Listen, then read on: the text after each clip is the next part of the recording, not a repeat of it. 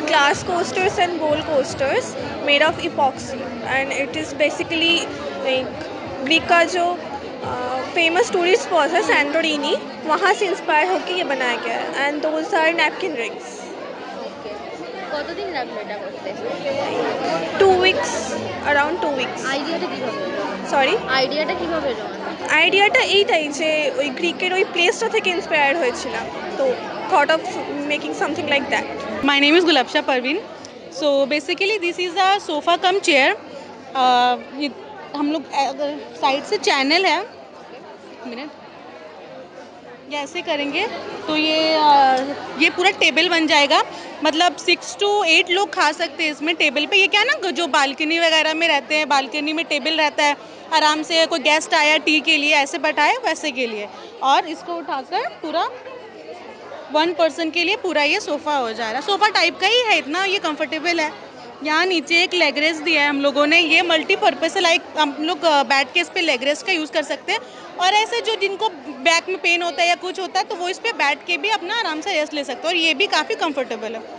And one more thing is we have a drawer here so इस यहाँ पे क्या है ना कि जिसको हम लोगों ने सोचा माइंड सेट किया कि जिसको बैल्कनी में पेंटिंग करने का शौक है वो यहाँ पे अपना पेंटिंग का सामान रख सकते हैं। या फिर जो यहाँ पे टी पीते हैं या ड्रिंक करते हैं कुछ भी करते हैं वो यहाँ पे अपना सामान रख सकते हैं ऐसा। तो ये इसका काइंड ऑफ़ है। एंड यहाँ पे भी, भी है। यहाँ पे भी एक काइंड ऑफ़ स्टोरेज है जो हम लोग एक, हम लोग का माइंड में था ना कि एक सीक्रेट ऐसा स्टोरेज बनाया जाए, जिसमें कोई अपना सीक्रेट का कुछ भी रख सके, कुछ भी। तो इसलिए हम लोगों ने एक वहाँ पे एक स्पेस छोड़ा है ताकि उसमें ऐसा कुछ रख सके। और भी इसमें अगर कस्टमाइज़ भी हो सकता है, ये लोग इसमें नीचे में काफ़ी स्पेस है जिससे कस्टमाइज़ भी हो सकता है बहुत इसमें। फ्लैट्स के प्राइजेस बढ़ रहे हैं तो लोगों के पास पैसे भी कम है और कम खर्च में जगह छोटी मिलती है घरों के लिए तो ये एक कॉम्पैक्ट फर्नीचर है। इस फर्नीचर में चार पार्ट्स हैं, एक बेड एक कैबिनेट एक लॉन्ड्री सेक्शन और एक एक्सेसरी का सेक्शन फ्रॉम हेयर ये बेड है, ये ये हेडरेस्ट है हेडरेस्ट के पीछे में कैबिनेट है। कैबिनेट में आप अपने पिलोज कुशन रख सकते हैं। साइड टेबल है दोनों साइड टेबल दोनों कोलैप्स हो सकता है। अकॉर्डिंग टू योर रिक्वायरमेंट्स आप आप इसको अप और डाउन कर सकते हैं।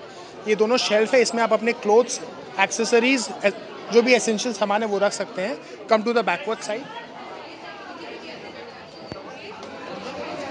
there is a drawer here इस ड्रॉर में आप अपना कंफर्टर ब्लैंकेट्स कुशन रख सकते हैं। ये ये हैंगर सेक्शन है। इसमें आप अपने जो भी कपड़े, जो हैंगर में रहते हैं, वो सब यहाँ पे हैंग कर सकते हैं। ये एक्सेसरी सेक्शन है, इसमें आप अपने stole shawl tie sunglasses as well as slippers without heels उसको आप रिक्लाइन वे में आराम से रख सकते हैं। ये पूरा फर्नीचर एक एक बॉक्स की तरह पूरा बंद हो जाता है। ये वाला ये वाला पूरा पार्ट यहाँ पे स्टिक हो जाता है और वो वाला हाइड्रोलिक सामने से और बाकी के जो दो साइड टेबल्स हैं, वो एकदम नीचे हो जाते हैं। ये पूरा एक बॉक्स बन जाता है। দিস ইজ মাই ফার্নিচার আমাদের product as you can see আমাদের প্রোডাক্ট হচ্ছে আমরা কম্প্যাক্ট পাউডার থেকে ইন্সপিরেশন নিয়ে কম্প্যাক্টের ওপর করেছি। এটা হচ্ছে আমাদের মডেলটা আর আমাদের ওই জন্য এটার নাম হচ্ছে কম্প্যাক্ট অ্যান্ড আমরা দিয়েছি এটাকে বিউটি উইথ ব্রেন কারণ as you can see Sanchita ji এখানে আমাদের একটা সেন্সর মিরর রয়েছে, যেটা অন অফ করা যাবে। আর এটাকে বন্ধ করে দিলে this works as a study table as well আর এদিকে ম্যাম একটু। এদিকে হচ্ছে আমাদের হচ্ছে এটা রোটেটিং ওয়ান এইটটি হ্যাঁ ওয়ান এইটটি এটা হচ্ছে একটা rotating bookshelf okay where you can put all the books and you can study here as a study table you can use it আর আমাদের খুললে যেহেতু এটা মানে ড্রেসিং টেবিলের কাজ করছে ওই জন্য আমরা এটাকে কম্প্যাক্ট হিসেবে ইউজ করেছি। যেটা আমরা ইন্সপিরেশন পেয়েছি আর এটাতে মানে এখন যেমন হয়েছে লাইক রিলস অ্যান্ড অলে আমরা ইউজ করতে পারি সব জিনিস মানে রিলসের জন্য কি আলাদা করে রিং লাইট লাগে অ্যান্ড অল তো আমরা এখানেই আয়নাতেই ব্যবস্থা করেছি যাতে মিররে মানে অন অফ করে যখন সুবিধা, যখন ইয়ে এটাকে অন অফ করা যেতে পারে। আর এটা হচ্ছে আমাদের ব্রোশিওর আর এটা this is made out of plywood and the outer portion is rexine leather আর এটা বন্ধ করে দিলে এটাকে, এটা সিলিন্ডার হিসেবে সিলিন্ড্রিক্যাল একটা সাইডে রাখা যাবে so that the space can be used for various reasons